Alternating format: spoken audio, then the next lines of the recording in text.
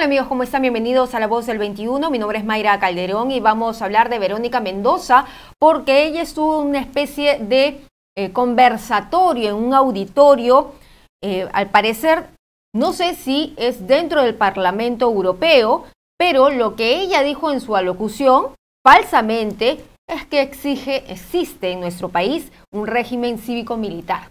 Que además de eso, la señora Verónica Mendoza acordémonos que mantuvo silencio eh, durante el gobierno de Pedro Castillo cuando se alinearon las fuerzas políticas de Perú Libre. Y eh, ella lo que ha dicho es que básicamente la presidenta Boluarte es la careta de una coalición autoritaria, conservadora y mafiosa en la que funcionan casi de manera armoniosa una ultraderecha afincada en el Parlamento, aliada con el oligopolio mediático, poder económico, grandes grupos de poder económicos y nuevas mafias.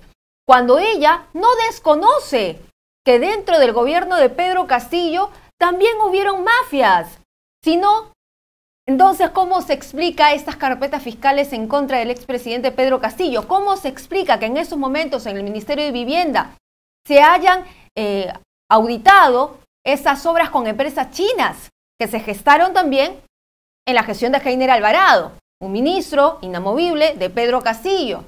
Pues bien, vamos a ver la repercusión que esto podría tener a nivel internacional, porque en esta reunión estuvo marcada por eh, por ejemplo, representantes de Chile, Colombia, Ecuador, España, Michelle Bachelet, Ernesto Samper, también está Rafael Correa y José Luis Rodríguez Zapatero, respectivamente. Estamos ya conectados con el embajador eh, Eduardo Ponce Vivanco, a quien le damos la bienvenida. ¿Cómo está? ¿Cómo está, Mayra? Mucho gusto de oír.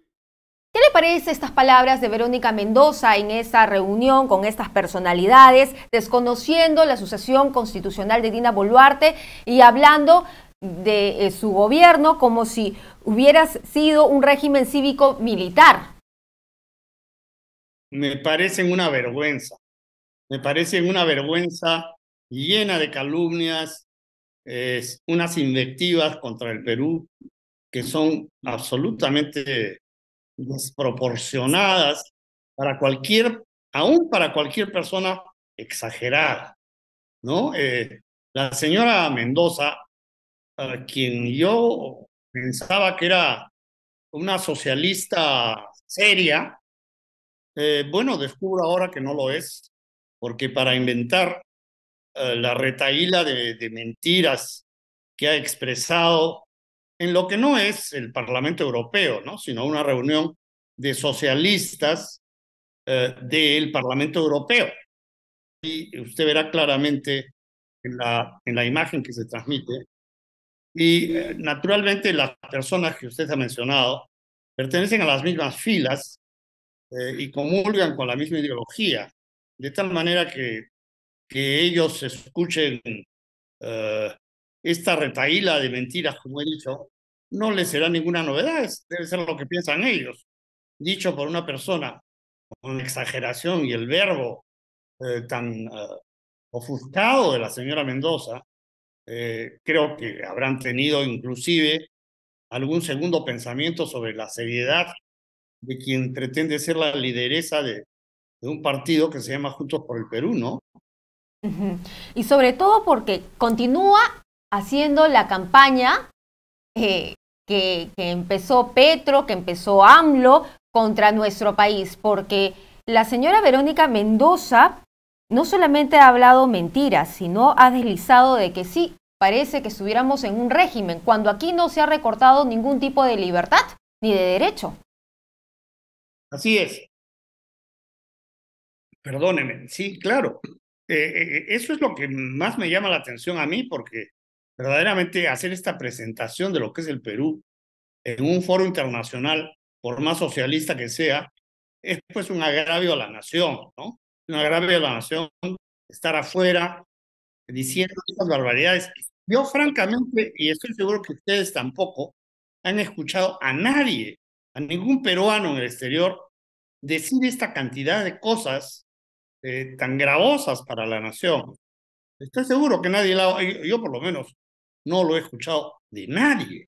Y me parece que es muy indignante, ¿no? Y muy indigno para Juntos por el Perú tener a una líder eh, que ha cometido este acto que me parece tan feo, ¿no? Y tan, y tan, y tan traidor para los intereses nacionales. Exactamente, un acto traidor, como usted lo ha mencionado. ¿Cómo se puede hacer frente a este tipo de calumnias, de falsedades, si esta líder mantuvo silencio mientras Pedro Castillo hacía tropelías dentro de su gobierno? Y me refiero no solamente a su actuación internacional de Pedro Castillo cuando era presidente, sino también a la interna en nuestro país, cuando hizo lo que hizo, cuando disolvió el Congreso de manera inconstitucional. Eso también es un sesgo que ella mantiene, que hasta ahora defiende. ¿Cómo hacemos frente a una campaña de desprestigio que inició desde fuera y que ahora ella también viene apoyando?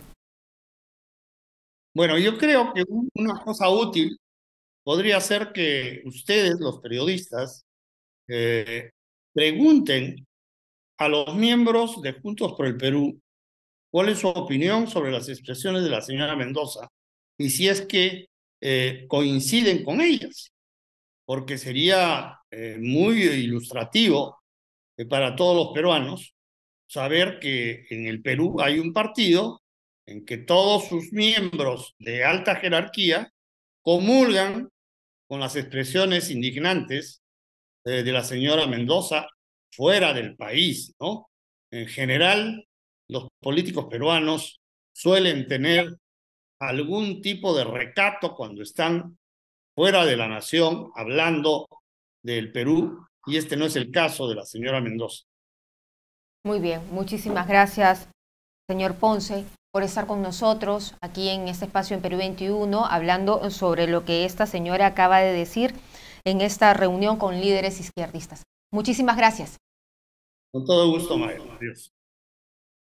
Bien, era entonces el embajador Eduardo Ponce Vivanco que estaba con nosotros reaccionando a lo que la señora Verónica Mendoza ha dicho afuera en este conversatorio del Parlamento Europeo, donde habla de un régimen cívico-militar, cuando ella se olvida que Aquí en estos momentos, en, este, en esta gestión de Dina Boluarte no se ha recortado ninguna libertad ni derechos. Entonces, está faltando a la verdad, sobre todo porque ella se mantuvo callada y cómplice de Pedro Castillo cuando se empezaron a conocer todos estos hechos de corrupción. Nosotros regresamos más adelante con más información.